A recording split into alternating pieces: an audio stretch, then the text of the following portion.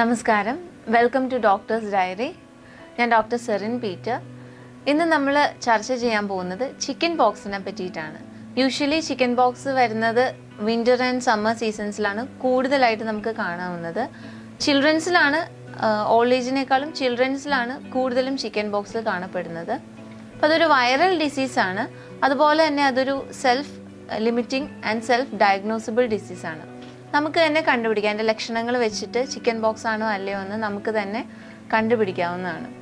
അപ്പോൾ ഒരു നോർമൽ ഒരു ഹെൽത്തി ഹ്യൂമൻ ബീങ്ങിൽ ചിക്കൻ ബോക്സ് വന്നു കഴിഞ്ഞാൽ കൂടുതൽ കോംപ്ലിക്കേഷൻസ് ഒന്നും ഉണ്ടാവില്ല. അൺലെസ് പ്രഗ്നൻസി അല്ലെങ്കിൽ ഇമ്മ്യൂണിറ്റി ഒരുപാട് കുറഞ്ഞിട്ടുള്ള പേഴ്സൺസ് അവർക്കല്ലാതെ ചിക്കൻ ബോക്സ് കൊണ്ടിട്ട് വേറെ ഡേഞ്ചറസ് ആയിട്ടുള്ള ഹസാർഡ്സ് ഒന്നും ഉണ്ടാവാറില്ല. ചിക്കൻ ബോക്സിന്റെ മെയിൻ സിംറ്റംസ് എന്ന് പറയുമ്പോൾ ഈ വെരിസെല്ല എന്ന് പറയുന്ന വൈറസ് എക്സ്പോഷർ നടന്നു കഴിഞ്ഞ് ഒരു ടെൻ ടു ട്വന്റി ഡേയ്സ് കഴിഞ്ഞിട്ടായിരിക്കും നമുക്ക് ഫീവർ ഡെവലപ്പ് ചെയ്യുക അപ്പോൾ അതിന്റെ ഇൻക്യുബേഷൻ പീരീഡ് എന്ന് പറയുന്നത് അല്ല അതല്ലെങ്കിൽ ഒരു ചിക്കൻ ബോക്സ് വന്ന ഒരാളുടെ അടുത്ത് നമ്മൾ പോയി കഴിഞ്ഞാൽ ഒരു നമുക്ക് ആ ഇൻഫെക്ഷൻ കിട്ടിയിട്ടുണ്ടെങ്കിൽ ഒരു ടെൻ ടു ട്വന്റി ഡേയ്സ് കഴിഞ്ഞ് നമുക്ക് ഫീവർ ഡെവലപ്പ് ചെയ്യുള്ളൂ. ഫീവറാണ് ഫസ്റ്റ് സിംറ്റം ഫീവറിന്റെ ഒപ്പം വിശപ്പില്ലായ്മ അതുപോലെ തന്നെ തൊണ്ടവേദന തലവേദന ക്ഷീണം ഇങ്ങനെയുള്ള മറ്റ് സിംറ്റംസും കാണാവുന്നതാണ്. ഫീവർ സബ്സൈഡ് ചെയ്യുമ്പോഴേക്കായിരിക്കും നമുക്ക് റാഷസ് അപ്പിയർ ചെയ്ത് തുടങ്ങുന്നത്. റാഷസ് കൂടുതലും ആദ്യം അപ്പിയർ ചെയ്യുന്നത് ട്രങ്കിലായിരിക്കും ചെസ്റ്റ് അബ്ഡമൻ അതുപോലെ അവിടുന്ന് പിന്നെ ഫുൾ ഫേസിലേക്കും ഫുൾ ബോഡി കവർ ചെയ്ത് റാഷസ് വരും. അപ്പോൾ ഇതൊക്കെയാണ് ചിക്കൻ ബോക്സിന്റെ മെയിൻ സിംറ്റംസ് ഇനി ഇതെങ്ങനെയാണ് സ്പ്രെഡ് ആവുന്നത്? ചിക്കൻ ബോക്സ് വന്ന ഒരാളുടെ അടുത്ത് നമ്മൾ പോയാൽ നമുക്ക് ചിക്കൻ ബോക്സ് വരുമോ? എല്ലാവർക്കും ഭയങ്കര ടെൻഷനായിരിക്കും വീട്ടിൽ ആർക്കെങ്കിലും ഒരാൾക്ക് ചിക്കൻ ബോക്സ് ഉണ്ടെങ്കിൽ അതെങ്ങനെയാണ് നമുക്ക് സ്പ്രെഡ് ആവുന്നതെന്ന്. അപ്പോൾ ചിക്കൻ ബോക്സ് അതായത് ചിക്കൻ ബോക്സിന്റെ വൈറസ് പെട്ടെന്ന് സ്പ്രെഡ് ആവുന്നത് ഈ ഫീവറിന്റെ സ്റ്റേജ് ആ ഒരു സ്റ്റേജിലാണ്. ഫീവർ സ്റ്റേജിലാണ് ഏറ്റവും കൂടുതൽ ചിക്കൻ പോക്സ് വൈറസ് ഇൻഫെക്ഷ്യസ് ആയിട്ടുള്ളത്. അതുപോലെ തന്നെ ചിക്കൻ ബോക്സ് വന്ന ആൾ സ്നീസ് ചെയ്യുമ്പോൾ കഫ് ചെയ്യുമ്പോൾ ഉള്ള ആ ഡ്രോപ്ലെറ്റ് ഇൻഫെക്ഷൻ അതിലൂടെ നമുക്ക് ചിക്കൻ ബോക്സ് സ്പ്രെഡ് ആവാനുള്ള ചാൻസ് ഉണ്ട്. പിന്നെ ബെഡ് ലിനൻ അവർ യൂസ് ചെയ്ത ബെഡ്ഷീറ്റ് ഡ്രസ്സ് പില്ലോ കവർ ഇതിലൂടെയൊക്കെയും ചിക്കൻ ബോക്സ് വൈറസ് സ്പ്രെഡ് ആവും. പിന്നെ കൂടുതലും ഇറപ്ഷൻസിന്റെ ഉള്ളിൽ ഒരു ഫ്ലൂയിഡ് ഉണ്ടാവും. ആ ഫ്ലൂയിഡിൽ കൂടെയും നമുക്ക് ചിക്കൻ ബോക്സ് വൈറസ് സ്പ്രെഡായി വരാൻ ചാൻസ് ഉണ്ട്. അൺഹെൽത്തി ആയിട്ടുള്ള ഫുഡ്സ് എപ്പോഴും നമ്മുടെ ഡിസീസ് കണ്ടീഷനെ അഗ്രവേറ്റ് ചെയ്യിപ്പിക്കുകയുള്ളൂ. അതിപ്പോൾ ചിക്കൻ ബോക്സ് അല്ല എന്ത് ഡിസീസ് ആണെങ്കിലും ഒരു പ്രോപ്പർ ഫുഡ് നമ്മൾ മെയിന്റെയിൻ ചെയ്യണം. പേഷ്യന്റിന് ഒരുപാട് റിലീഫ് അതുകൊണ്ട് കിട്ടും. നമ്മളൊരു പ്രോപ്പർ ഡയറ്റ് ചാർട്ട് മെയിന്റെയിൻ ചെയ്ത് പോയി കഴിഞ്ഞാൽ ഒരുപാട് ബെനിഫിറ്റ്സ് അതിനുണ്ട്. ഇപ്പോൾ ചിക്കൻ ബോക്സിന്റെ കാര്യത്തിൽ നമ്മൾ ഒരുപാട് ഫുഡ് അവോയ്ഡ് ചെയ്യേണ്ടതുണ്ട്. പ്രത്യേകിച്ച് ചിക്കൻ ബോക്സിന്റെ കണ്ടീഷനിൽ ഡൈജഷൻ ഒരുപാട് വീക്കായിരിക്കും സോ നമ്മൾ ഫാറ്റി ഫുഡ്സ് അതുപോലെ തന്നെ നട്ട്സ് ഇങ്ങനെയുള്ള കാര്യങ്ങളൊക്കെ നമ്മൾ കുറച്ച് അവോയ്ഡ് ചെയ്യണം.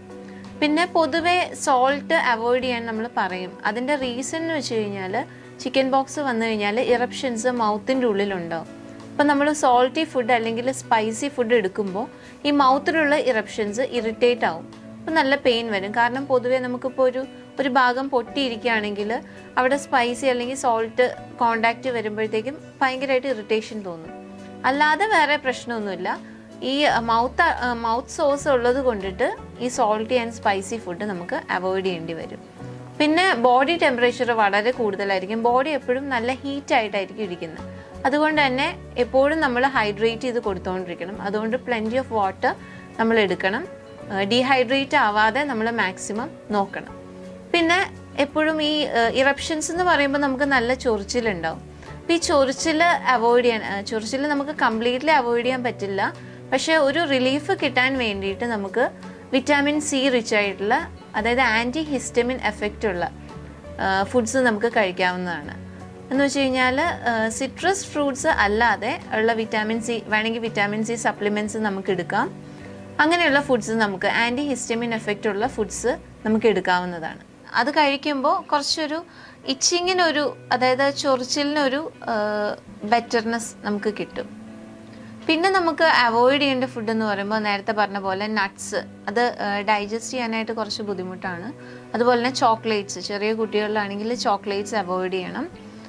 പിന്നെ കഴിക്കാവുന്ന വേറെ കുറച്ച് ഫുഡ്സ് എന്ന് പറയുമ്പോൾ ലൈസിൻ കണ്ടന്റ് ലൈസിൻ എന്ന് പറയുന്ന ഒരു അമിനോ ആസിഡാണ് അതൊരു ആന്റി വൈറൽ ആയിട്ടുള്ള ഒരു പ്രോപ്പർട്ടി അതിനുണ്ട്. അതുകൊണ്ട് ലൈസിൻ പ്ലെന്റി ആയിട്ട് ഉള്ള ഫുഡ്സ് നമുക്ക് കഴിക്കാവുന്നതാണ്. അതുപോലെ തന്നെ ആന്റി വൈറൽ ഫുഡ് അത് നമുക്ക് മെയിനായിട്ട് ഗാർലിക്ക് പറയാം. വെളുത്തുള്ളി. വെളുത്തുള്ളി കഴിക്കാം. അതുപോലെ തന്നെ തൈര്. തൈര് നമുക്ക് കഴിക്കാം. ഇതിനെല്ലാം ആന്റി വൈറൽ പ്രോപ്പർട്ടീസ് ഉണ്ട്. ഇത് കഴിച്ചു കഴിഞ്ഞാൽ നമുക്കൊരു ഒരു റിലീഫ് പേഷ്യന്റിന് പ്രൊവൈഡ് ചെയ്യാനായിട്ട് സാധിക്കും. ഫ്രൂട്ട്സ് നമുക്ക് കഴിക്കാവുന്നതാണ്. മൗത്ത് അൾസേഴ്സ് ഇല്ലാത്തവർക്കാണെങ്കിൽ സിട്രസ് ഫ്രൂട്ട്സ് കഴിക്കുന്നതുകൊണ്ട് വലിയ കുഴപ്പമില്ല. അതല്ലാതെ തന്നെ നമുക്ക് ഡീഹൈഡ്രേറ്റഡ് ആവാതിരിക്കാൻ വാട്ടർ കണ്ടന്റ് ഉള്ള ഫ്രൂട്ട്സ് നമുക്ക് എടുക്കാവുന്നതാണ്. വേറെ ഫ്രൂട്ട്സ് അതായത് പേരയ്ക്ക ആപ്പിൾ പിന്നെ അങ്ങനെയുള്ള ഫ്രൂട്ട്സ് ഒക്കെ നമുക്ക് കഴിക്കാവുന്നതാണ്. ചിക്കൻ ബോക്സ് ഒരു തവണ വന്നതിന് ശേഷം വീണ്ടും ചിക്കൻ ബോക്സ് വരുമോ എന്നുള്ളത് എല്ലാവർക്കും ഉള്ളൊരു സംശയമാണ് അല്ലേ?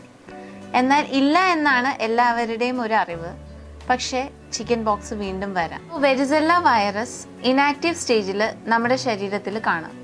അങ്ങനെ വർഷങ്ങളോളം ചിലപ്പോൾ ഇയേഴ്സിന് ശേഷമായിരിക്കും അത് വീണ്ടും ആക്ടിവേറ്റ് ആവുന്നത്. ആ വൈറസ് വീണ്ടും റിയാക്റ്റീവ് ആവുന്ന സ്റ്റേജിൽ നമുക്ക് വീണ്ടും ഹെർപ്പസ് സൂസ്റ്റർ എന്ന് പറയുന്ന ഒരു ഡിസീസ് അല്ലെങ്കിൽ ഷിംഗിൾസ് എന്ന് പറയുന്ന ഡിസീസ് വരാൻ ചാൻസ് ഉണ്ട്. കൂടുതലും നെർവ് പെയിൻ ആയിരിക്കും ഈ ഹെർപ്പസ് സൂസ്റ്ററിൽ നമുക്ക് യൂഷ്വലി അനുഭവപ്പെടുന്നത്. ബാക്കി ചിക്കൻ ബോക്സിന്റെ സിംറ്റംസ് ഒന്നും ഉണ്ടാവില്ല. ഇറപ്ഷൻസ് ഉണ്ടാവും. അത് തന്നെ സെൽഫ് ലിമിറ്റിംഗ് ആയിട്ട് തനിയെ മാറാവുന്നതുമാണ്. കൂടുതൽ കോംപ്ലിക്കേഷൻസ് ഇല്ലെങ്കിൽ അത് തനിയെ സെൽഫ് ലിമിറ്റിംഗ് ആയി മാറുന്ന ഒരു ഡിസീസാണ് സോ ചിക്കൻ ബോക്സ് നമുക്ക് ലൈഫ് ടൈം ഇമ്മ്യൂണിറ്റി തരുന്നുണ്ടെങ്കിലും ഫ്യൂച്ചറിൽ ഇനാക്റ്റീവ് ആയിട്ടുള്ള വെരിസെല്ല വൈറസ് ഉണ്ടെങ്കിൽ ഹെർബ് സൂസ്റ്റർ വരാനുള്ള ചാൻസസ് ഉണ്ട്. ചിക്കൻ ബോക്സിനെ പറ്റി ഒരു ഏകദേശം ധാരണ നിങ്ങൾക്ക് കിട്ടിയെന്ന് ഞാൻ വിശ്വസിക്കുന്നു. നിങ്ങൾക്ക് ഈ പ്രോഗ്രാം ഇഷ്ടപ്പെട്ടെങ്കിൽ നിങ്ങളുടെ വിലയേറിയ കമൻസ് ഞങ്ങളെ അറിയിക്കുക. വീണ്ടും അടുത്ത എപ്പിസോഡിൽ കാണുന്നവരെ it's me doctor Serin Peter signing off